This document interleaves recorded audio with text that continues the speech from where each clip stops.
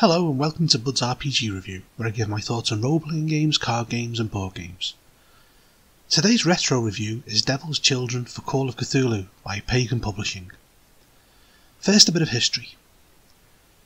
Devil's Children was originally ran as a two-session game at Conquest in 1992 and then published as a book in 1993. The game is to be run for four players using two sets of pre-made characters and is touted as a departure from the regular Call of Cthulhu fare. Okay, to the overview. The story centres around four students in Arkham who are taking a course in American history who plan to help each other out in passing the examination by sharing notes and the cost of the books for the course. Unfortunately, they all incorrectly assumed the others were doing their share of the work while not doing their bit, which resulted in them all being at the point of failing the course. They've been given an extension for their essay, which they unwisely used to go to a party. While driving back from the party, the four hapless students crash the car and are all killed. Niall Nyarlathotep, in his guise as the Black Man, resurrects the students in exchange for them writing their name in the Book of Azathoth, and wipes the event from their minds, leaving them believing they simply survived a car crash. The students, in a last-ditch effort to get information for their essay, decided to conduct a seance. The visions from the seance make up Act 1 of the scenario. The seance picks up in Salem 1692, where a coven of witches, short by four members, are preparing to induct four young women members by getting them to sign the Book of Azathoth. As they are being prepared, four other young women walk by, the four girls that the players play, and instead Nyarlathotep selects these girls for the coven.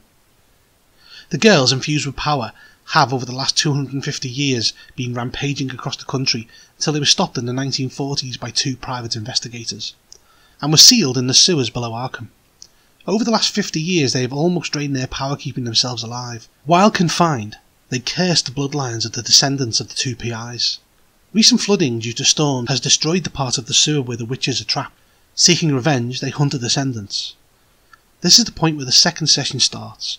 Also provided are notes on setting the stage for the adventure, including lighting to use and how to set up the table and sound effects. We are then presented with the character sheets for the four young girls that the players will play in the first session Bridget Bishop, Susanna Martin, Alice Parker, and Margaret Scott. OK, to the first part of the adventure Salem 1692. The adventure begins with four young girls Elizabeth Parris and her three friends discussing marriage and the characteristics of their future husbands. Elizabeth has dwelled on it so much that she has asked her Jamaican servant Tehube to use her reputed magical powers to divine this information. Little do the girls know, but Tehube is part of a coven that has recently lost four members who were unmasked and lynched. Tehube convinces Elizabeth that she can join the coven and find out what she desires, but that the three other girls must join too. The adventure picks up on Monday the 1st of May 1692, where the other members of the coven meeting in the woods to perform the ceremony where the girls can devote themselves to the Black Man. Unfortunately for the four player characters, Nyarlathotep senses the four of the young girls, Bridget, Susanna, Alice, and Margaret nearby, and decides that it is these four that he wants to complete his coven. The adventure goes on to play out some of the day to day life that the girls would do, and it includes meeting a meal that the hallucinogenic mold Ergot has cultivated in. This gives the young girls harrowing nightmarish visions that are played out in full. It also includes a full trial by mob where the girls are brutally murdered for being witches. The girls awaken after the hallucinations and head off home. The journey home in the dark is played out up to the point where they come upon the coven inducting new members and the Black Man himself. It continues with the girls waking up in bed thinking the events of the previous night were a horrific nightmare. That is until the witches' familiars arrive and introduce themselves. The end of the session plays out with the girls discovering that the previous evening was true, and then fleeing into the forest where they are finally greeted by the Black Man holding the Book of Azathoth. Nyarlathotep expands to a monstrous form of organs, limbs, and flesh and surrounds the girls and that is the end of Act 1. Act 2 starts with the four students awakening from the seance in the dark holding hands.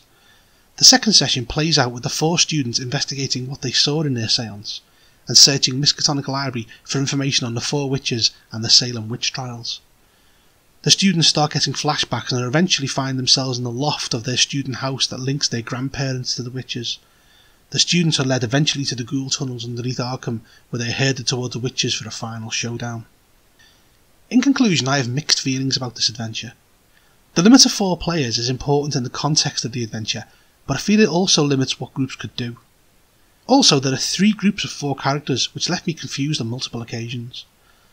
The depiction of Nyarlathotep as an almost moustache twirling cartoonish villain Getting them to sign their soul away just doesn't sit right with me, and the professor of the students being called E. Ralph Yatton was a bit of a dead giveaway to those of us who have faced the likes of the Royal Pant and Harley Patton before. Also, the breaking of the fourth wall and allowing one of the PCs a Cthulhu Mythos score as they've played the Call of Cthulhu RPG is again something that I don't find conducive to an atmosphere. The idea behind the adventure is a good one though, and it's generally well executed. It is worth noting that the quality of the handouts is really good throughout. The Salem witch trials are a blight upon the history of America, and this adventure tries its best to draw attention to this, which is a good thing. It's worth noting that the adventure was written to commemorate the 300th anniversary of the trials and that the four girls, Bridget, Alice, Susanna, and Margaret, were real people who were tried and hanged for witchcraft, and at the time of writing had not been cleared of witchcraft posthumously. Thankfully, upon further research, it would appear that the four girls were acquitted in November of 2001. If you're after something a bit different to your usual Call of Cthulhu game and you can find a copy, then you could do a lot worse than this. I give this a fair 6 out of 10. I think in concept it is good, but in practice it isn't quite pulled off. If you enjoyed this review, please hit the thumbs up and subscribe to my channel. Also, don't forget to check out my other reviews. Bud out.